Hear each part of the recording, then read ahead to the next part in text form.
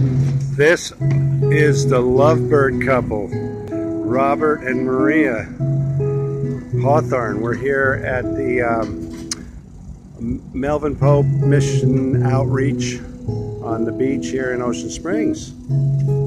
Say hello. I'm going to pan around.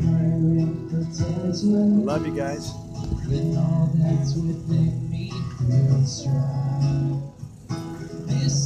My prayer and my hunger and need. My God is the God who provides. And this is my prayer and the fire. In weakness or trial or pain. There is a faith proof of more worth than gold.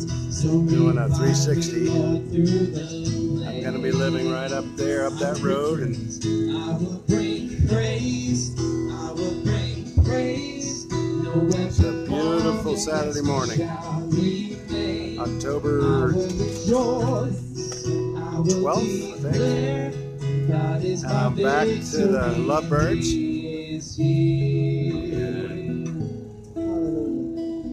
There we are.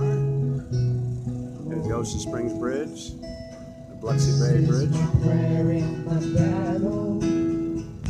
Triumph the sin.